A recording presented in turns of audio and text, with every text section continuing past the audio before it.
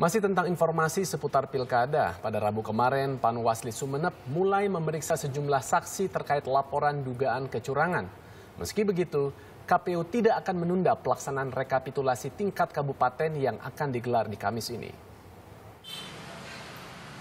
Rabu Panwasli Kabupaten Sumeneb, Madura, Jawa Timur menindaklanjuti laporan dugaan kecurangan selama pelaksanaan pilkada tanggal 9 Desember lalu. Sejumlah saksi pun dipanggil dan diperiksa. Mereka adalah tiga orang panitia pemungutan suara Kecamatan Lenteng dan seorang ketua KPPS. Keempatnya diperiksa secara tertutup. Masih dalam proses, sehingga dalam proses pemeriksaan ini pada teman-teman sebaiknya menunggu lebih lanjut terkait uh, proses laporan ini karena tidak bisa diputuskan sekarang kan demikian. Sebelumnya, dugaan kecurangan disampaikan oleh tim pasangan nomor urut 2, Zainal Abidin dan Dewi Khalifah. Ada juga laporan ke kami bahwa perhitungan dilakukan pukul 10, 11.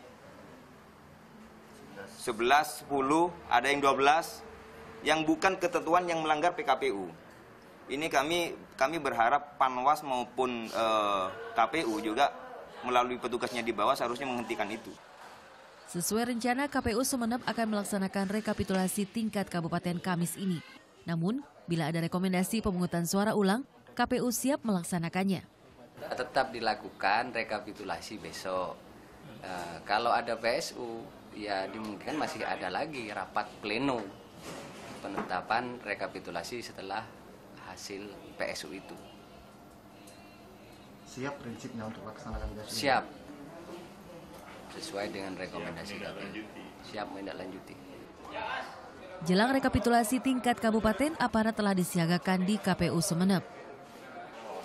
Didik Setiabudi melaporkan untuk